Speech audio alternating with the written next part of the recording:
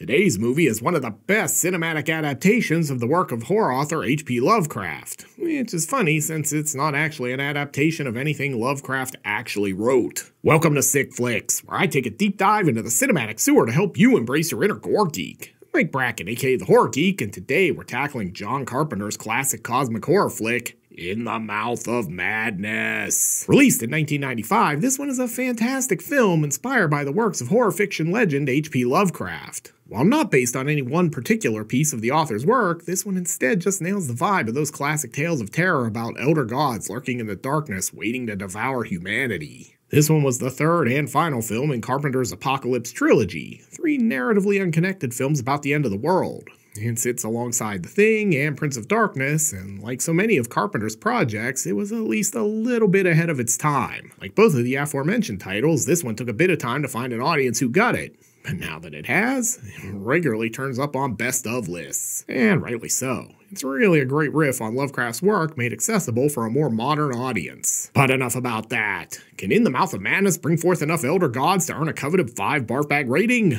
Let's get to the gore and find out. Today's movie deals with an author writing books designed to bring the old ones back to end the world and enslave humanity which sounds pretty scary. But if you like your books entertaining, colorful, and way less likely to summon elder gods from beyond the stars who will drive you mad, you'll definitely want to check out today's sponsor, Riserverse Comics. A creative endeavor from Haley Rine, E. Kibo Gawatsky, Evan Momeyer, and artist Emi Me, the Riserverse is a labor of love for all involved. And like all good comics, the Riserverse has a super cool origin story. Their journey began with Haley crafting a team of superpowered vigilantes purely for her own enjoyment.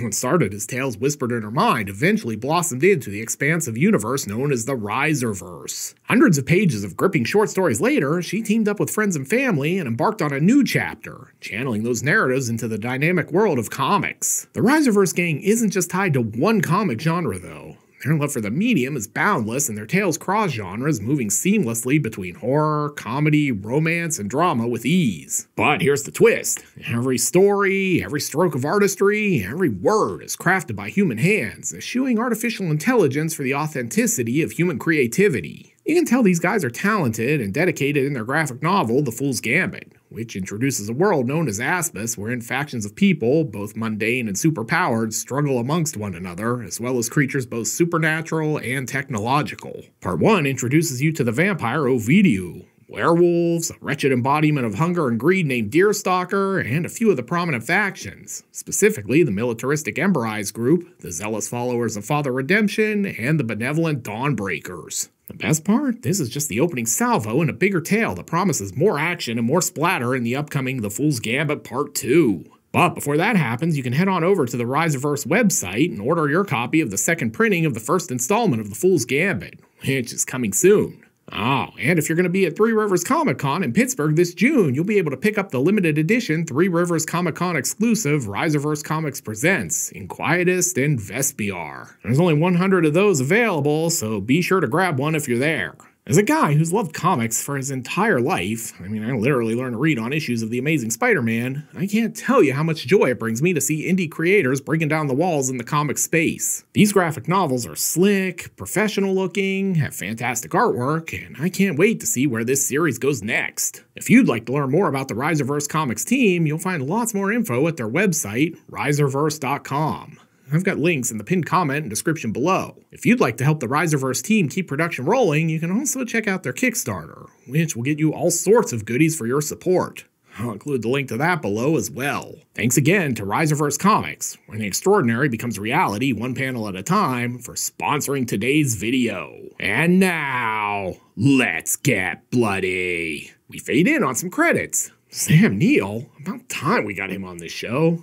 Honestly, I kind of thought it would be for his work in The Omen 3, but whatever. Hey, here's Julie Carmen, who was in the wildly underappreciated Fright Night Part 2. And Jurgen Prochnow, who's one of those great character actors you recognize instantly. He has quite the resume. This film, The Keep, Das Boot, and here's a title card. Pretty middle of the road, honestly. David Warner, too. Jesus, Carpenter really could assemble a cast. Anyway, we last saw him in Body Bags. Hey, I thought this was a movie, not an industrial video about publishing industry equipment. And John Glover. I'm contractually obligated to tell you Glover might have played the greatest devil ever in Brimstone. I'm also obligated to tell you it's tragic that Fox killed Brimstone before it ever got a chance to find an audience. Here's Carpenter regular Peter Jason. We last saw him in Prince of Darkness. My god, it's Charlton Heston! Look out, you damn dirty apes! Ooh, FX by the KNB crew. This should be good. Oh yeah, it's nice they took up all this beachfront real estate with a sanitarium. Seems important that the criminally insane should get a good view. All right, Mr. Carpenter, we'll start the movie now. And directed by John Carpenter. I don't even know what's left to say about Carpenter at this point. Man is an icon. Oh, sweet, John Glover is doing his best Bill Nye cosplay. And they're dragging in Sam Neill. He's wearing a straight jacket, which implies the existence of a gay jacket. so working as an orderly here appears to be a real drag. Huh, guess Nurse Ratched got the day off. I'm not insane. You hear me? I'm not insane! Said every insane guy ever. See? Like condos for crazy dudes right there. Let's Just calm things down with some Freedom Rock. Sure hope this thing goes to 11. You kids even remember the old Freedom Rock commercials? Christ, I'm old. Sam Neill is like, I swear, I was on an island where they brought dinosaurs back to life. You gotta believe me. But it's about to get even worse. Not the carpenters, too. right there with you on that, Sam. And jump scare. You haven't read it yet. But it's just a weird fake out. Fun fact, this single bedroom efficiency is only running him two grand a month. Hey, it's David Warner. I'd like to go over our lines if you don't mind. This is like an Omen series reunion. Warner was in the first film, Neill the third. Anyway, Sam's been busy doing some redecorating. Oh yeah, I like what you've done with the place. Very crazy evangelical cat lady vibe you got going on in here. This is basically just how Sam Neill came back after his trip to the Event Horizon. Meanwhile, Warner's just here to ask the probing questions. I want to know how you got here. Um, it was in an ambulance. Didn't you see the opening scenes? But settle in, because this is all a framing device, and Sam's about to kick this movie into gear by explaining what he was working on when he went crazy. All of this started with the disappearance. The Sutter Kane disappearance. Sutter Kane, presumably no relation to Big Daddy Kane. Hey, that's you and Jefferson! I'm sorry, Mr. Jason, but we're denying your application to the Lambda Lambda Lambda fraternity. You don't meet our melanin requirements. This must be a really rigorous frat interview. Dude's sweating like a pig. Look at you, Ed. He's like, Can we wrap this up? I'm gonna attend to that whole thing over at Adams University. Man, Sam Neill is unflappable. You could say he's dead calm. Do kids even remember that Sam Neill was in Dead Calm? Christ, I'm still old. Man, look at what the Alpha Betas did to those nerds. Trashed their whole frat house. Wow, a product placement for the movie in the movie. It's like Inception up in here. Anyway, Sam and UN are having lunch, which is about to be interrupted by this dude working on his Paul Bunyan cosplay. Oh, and we got some important exposition here too. What's the claim? Sutter Kane's missing. Well, yeah, I guess we could put another doorway here. Excuse me, do you happen to have any Grey Poupon? I'm no ophthalmologist, but that boy's eyes ain't right. And then the cops waste him. Sure hope they had their body cams off. Later that night, Sam comes down with a drink. Damn it, we're out of J&B again. Man, look at all those Karens rioting to get a copy of the new Fifty Shades of Grey book. The stores could not meet the demand for advance orders of Sutter Kane's latest novel, In the Mouth of Madness. Title mention, drink. Oh man, I'm not nearly sober enough for this shit. So long, liver. Jesus, it's like a Bernie Wrightson art show. Oh, hey, it's Charlton Heston. Look, I know Soylent Green is people. I was in the movie. All right, get out of my office. Here's Julie Carmen, looking all business professional. Since she joined the firm, she's been handling Sutter Kane exclusively. Are the guy that writes that horror crap? Whoa, whoa, settle down, Sam. Let's not say things we can't take back. Where's Hurt Man? And Julie's not having any of his guff either. You can forget about Stephen King. Kane outsells them all. Anyway, we know Kane's missing, but Heston is going to give us more details. Kane disappeared uh, two months ago without a trace. The police have turned up nothing. Boy, the marketing department was really all in here. And here's one more bit of exposition. Crazy guy with the axe? That was Sutter Kane's agent. That lunatic with the axe, that was Kane's agent? Oh, yeah, Julie Carmen's had enough of Sam Neill's bullshit. Naturally, Sam's not buying this whole disappearing author thing. He smells a publicity stunt. I think it's great. It's great promotion for our Kane. Great publicity. But hey, he's here, so Sam's still gonna shoot a shot. Baby, if you were words on a page, I'd call you fine print. But he gets shot down. I don't think so. I don't want to alarm anyone, but Sutter Kane might be a nut job. He became convinced his writing was real, not fiction. Then the work stopped coming. Yeah, got my bottle of J&B, so that's tonight sorted. Hey, nothing to see here. We're just arresting Rodney King. Anyway, Neill is convinced this is a scam, although I'm not really sure I agree with him. Now relax, Robbie. Look, it's a, it's a scam. Of course it's a scam. Um, the agent was clearly very committed to the scam if he got shot by the police for it. Just saying. God, those Harry Potter fans are ravenous for new books. Ah, yes, a young Mike Bracken wanders the horror section at Barnes & Noble. Oh, trust me, you don't want that, Dean Koontz. Try this Jack Ketchum. It's way better. Later that night, Sam gets a call. I live in New York City. I don't even own a car. Why would I need an extended warranty? Um, there seems to be a tremendous buildup of gunk on this poster. And we're back to the cop beating the graffiti artist. With a twist this time. Except it's all just football practice. Or is it? And the locals are about to go all Lizzie Borden on the agent. Someone had a real axe to grind, apparently. Except it's just double football practice. We're running two a days. But we're not done. There's still one more jump scare.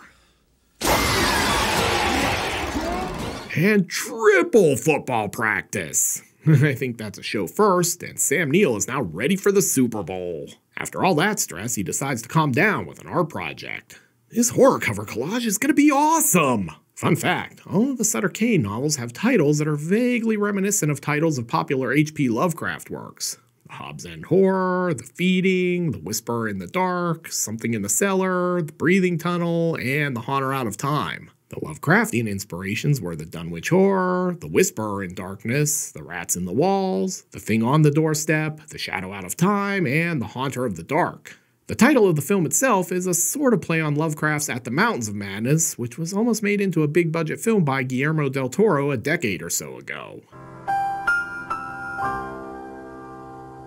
Anyway, Neill cuts up all the covers, which are actually a map that leads to the fictional New England town of Hobbs End, which is clearly located in New Hampshire. And with that, it's time for a road trip! God, they're using a map. You know this was the 90s. And it looks like Sam Neill is feeling horny. Hell yeah. No, not like that, you pervs. I mean, he's gonna wake up Julie Carmen with this bike horn. This scenery is pretty amazing. Man, is this line eerily prophetic or what? Sane and insane could easily switch places if the insane were to become the majority. Anyway, they're lost, but it looks like they found Hobbs End because here's a creepy kid biking in the middle of a dark road. Oh, yeah, this dude looks great. And she nails him with the car. Her insurance premiums are gonna skyrocket. Oh, he's just got progeria. I can't get out. You won't let me out. So far, I'm a really big fan of this movie. So long, suckers! So, wait, she ran down someone and he lets her keep driving? Great, she's now so tired she's hallucinating that they're flying. And it looks like she might have just driven into the bridges of Madison County. Oh, look, they found Hobbs End! So, it's been noted that Carpenter was a big fan of Quatermass in the Pit. Hobbs End is a reference to the subway station where the alien ship is excavated in that film. Uh-oh, looks like someone's on the wrong side of the tracks again. All right, let's get antiquing. Wait, Carpenter didn't remake Village of the Damned until after this movie. Anyway, they're off to get a room at the Pickman Hotel. This is another nod to Lovecraft. The author published a story titled Pickman's Model in the October 1927 issue of Weird Tales. And it turns out this is from one of Kane's novels, too. The hotel from Hobbs. Hey, the inn is run by perennial grandma Frances Bay. We lost her back in 2011, but she had an impressive body of work. Sweet, they have a Bob Ross original. Swanky. So, um, do you rent rooms by the hour? I'm not gonna need more than 15 minutes if you catch my drift. Back upstairs, Julie has a theory. What if Kane's work isn't fiction. Lance Henriksen, care to weigh in on this? That's the stupidest fucking thing I ever heard. But hey, at least they got a room with a sweet view. With that settled, they head out for some sightseeing. It's a place of pain and suffering beyond human understanding. I don't know, the local tourism board might want to hire a new copywriter. Interestingly, this dialogue, like many of the passages in the film from Kane's books, actually comes from Lovecraft's own stories. This one came from Haunter in the Dark, I think. Aw, look at the time! We're running late, so I guess we'll have to miss Mass. Damn it! Hey, here comes the Haddonfield mob! Hurry, we're late for communion! Oh shit, it's Vigo the Carpathian! This was Wilhelm von Homburg's last feature film role. Man, these doors are slamming like this is an Onyx track. Hey, it's Sutter Kane! Like Sam Neill, Jurgen Prochnow wasn't the only guy considered for a part in this film.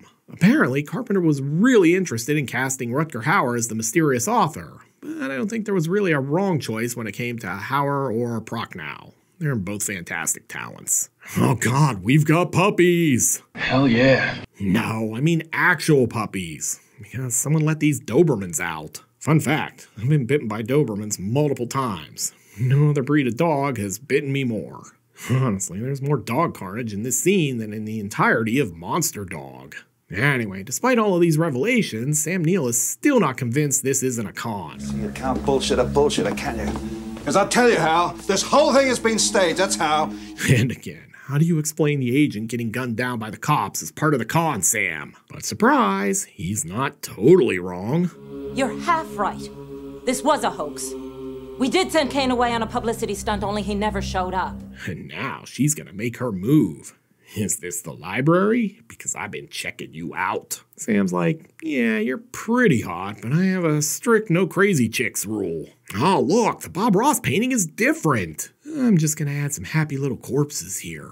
And we learn what happened to Mrs. Pickman's husband. Definitely gives new meaning to the phrase the old ball and chain. God, there's nothing to do in this town. Man, I better get right with God. I might not make it till the end of this movie. Oh no, upside down cross. Run! Just gonna check in here and see if I can find some communion wine to take the edge off. Aw, crap, it's just the priest's office. Sorry, Padre. Punch the keys, for God's sake. Just insert your own You're the Man Now dog joke here. Bear with me, I'm just finishing up this week's newsletter. Gotta promote the bake sale. And I'm sure this is fine. No cause for alarm at all. Hmm, guess she's found a new beau since Sam Neill rejected her. Or maybe he's just her hairdresser. You've got very dry hair and split ends, Julie. Let me fix that. Ah, great. He's basically Kuato from Total Recall. Um, remember how I said I didn't need an extended warranty for my car? Well, will that cover my crazy girlfriend stealing it? If so, I'd like to reconsider. And jump scare. This shot was filmed with the creeper cam they installed in the hotel room to catch unwary guests having sex. We're gonna need fresh towels in room 237. God, you can't even get an Uber in this town. What a shithole. Bob Ross painting changes again. Just gonna add some happy little eldritch horrors. I think I found the root of the problem in this place. But I will say this Granny's Bible Black cosplay is looking sweet. Great. This place doesn't have bed bugs, but it's infested with tentacle demons. Oh, it's one of the Zagons from this island Earth. Where's Exeter? Sam Neill's off to buy a 50 gallon drum of Roundup. But before he can do that, it looks like the locals are getting ready to light the Wicker Man. Man, I need like 10 drinks to deal with this town. Except he's still trying to convince himself this is all a hoax. Special effects. Hidden speakers, you people are professionals, I'll give you that.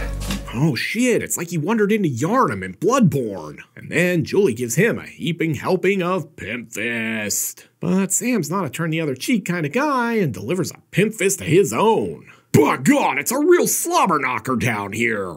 Pretty solid JR this week. Strange way to pick up chicks, but I'm not here to judge. He's gonna drive them out of here, but she's got the keys. And she's hungry. Fun fact the keys were made out of pasta. They eventually do get the car rolling, and I don't think making out while driving is really all that safe. Oh, hey, it's the weird creepy guy on the bike again. Oh, wow, Sam might want to reconsider hooking up with this chick. She's a contortionist. They actually did hire a contortionist for this scene. And say what you will, but Julie Carmen is the kind of chick who will bend over backwards for you. Now it's a Tom Cochrane song because life is a highway. And it's also a time loop, apparently. Yep, just like Groundhog Day. This time he's gonna take the Mr. Mercedes approach. The only way out is through indeed. But he wipes out like a Beach Boys song and wakes up in confession. Forgive me, Father, for I have sinned. I was the Antichrist in Omen 3. Anyway, this is basically Kane's Bond villain moment. His books are paving the way for the return of the old ones. When people begin to lose their ability to know the difference between fantasy and reality, the old ones can begin their journey back. Hey, hey, this confessional is occupied. Bad priest. Turns out the book is done and he wants Sam to take it back to his publisher. Hey, I'm not your courier, man. I'm an insurance investigator. Oh shit, he's back on the event horizon. And say what you will, but these Sutter Kane books are real page turners. Look out, here come the old ones. And Sam's back in his world. I'm not gonna lie, this scene feels pretty corny. Anyway, he winds up in a hotel, and this place is pretty sweet because they got Robot Monster on pay per view. Hey, the AC doesn't work in my room. I'm expecting a discount. Oh god, and he's got a package. Great, another copy of this crappy manuscript. I've heard of hot new books, but this seems on the nose. Oh god, this is what happens to me every time I'm on a plane. Someone has to tell me their life story. And this is my exact reaction to every time I've ever had to take a Greyhound bus. But eventually, he makes his way back to Charlton Heston. yeah, I had a crazy dream like that once. Dreamt I was on a planet run by apes. But don't worry, Sam's gonna save us from the old ones. And that's why I had to destroy the last manuscript, you know. Except. You delivered that manuscript to me months ago. To me personally, in this room. See, you can mm-hmm. never really beat the old ones. But wait, it gets worse. I know this book will drive people crazy. Well, let's hope so. The movie comes out next month. The line for the new Harry Potter book is totally out of control. And Sam Neill is like, let me ask you about how this book ends. And back to the framing story. Look at David Warner. He's like, you are completely out of your gourd. And it turns out that Sam Neill was basically right. The world has gone mad after reading In the Mouth of Madness. Guess they gave the cleaning staff the year off. So, what would you do at the end of the world? Go to the movies. Um, so, did he make his own popcorn and start the projector? I mean, there is no one working at the end of the world, right? This is my reaction to most gory horror movies, too.